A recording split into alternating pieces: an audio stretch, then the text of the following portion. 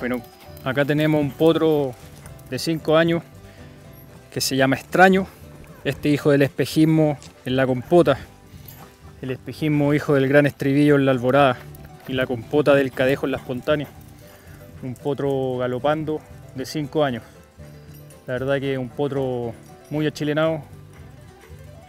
Va a ser, creo, un gran reproductor. Potro que la verdad nos gusta mucho y, y me duele venderlo.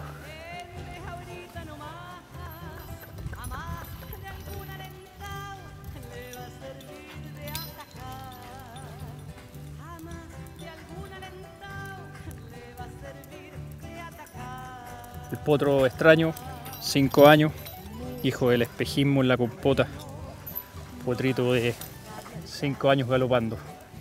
El espejismo hijo del estridillo en la alborada y la compota de cadejo en la espontánea.